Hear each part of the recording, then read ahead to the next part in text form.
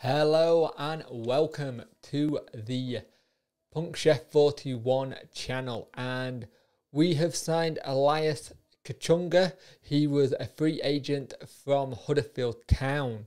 Now, he was somebody that was on Wednesday radar apparently a couple of weeks ago, and it all went very quiet. Not many people hear it, and it's nice to see Wednesday put in like this surprise signing as such because we weren't expecting him to be uh, announced, let alone be in for.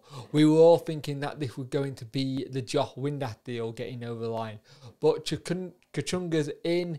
He's already played with Izzy Brown. Uh, Andy Hughes of had him as well when he was a coach at Huddersfield Town, so it makes a lot of sense. He got people that he knows. He's a striker by trade, but at Huddersfield, he was being played more as a winger. I hope they go back to putting him as a striker because that's where we need it. His goal record is not great, but in that first season that he was there and helped them get promotion, he was really good in front of goal and he got a really good, strong leap on him. He's tall, he can head the ball, and it'll be good to see how he does. Now, I'm already seeing Wednesday fans already be saying, oh, he's rubbish, why we got him, he's crap, he's not worth it, kind of thing. At the end of the day, we paid no transfer fee.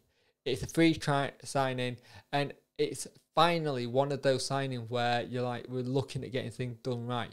You look at what we've brought in so far, all three are loans, and so far the only fee we'll will have paid is 500k once the Josh Windass deal is all done and dusted this is starting to be a good little window for us. I think I'm actually quite impressed with the recruitment so far.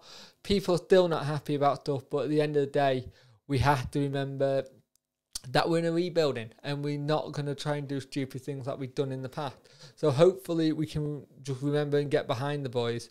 And at the end of the day, we have to get behind the boys because the moment that starts happening, it's going to be even easier for us when we have uh, players playing so all we've got to remember is that we're all Wednesday, aren't we? And back the boys.